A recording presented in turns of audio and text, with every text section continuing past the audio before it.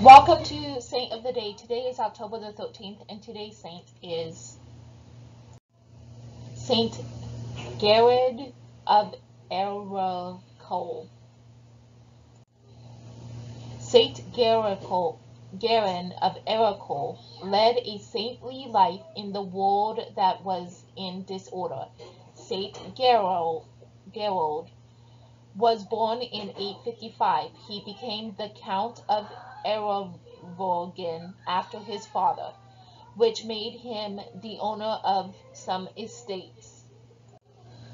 Saint Geron gave away his revenue to the poor to live a simple and prayerful life.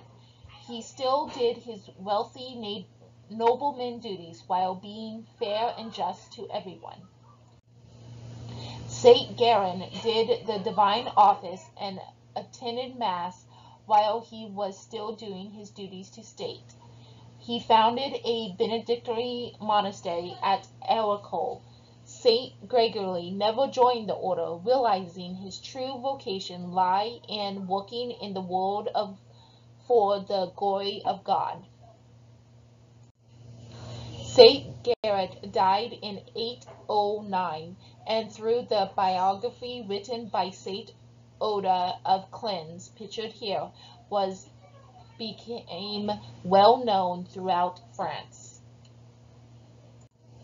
In the name of the Father, the Son, and the Holy Spirit, O God, our Father, you alone are holy, and no one is good without you. Through the intercession of Saint Gerard, help us to live in such a way that we may not be despaired of a shrine in your glory. This we ask through Christ our Lord, in the name of the Father, the Son, and the Holy Spirit. Amen. This is the reference page, which also has um, all of the resources that I use for my document. Please like and subscribe.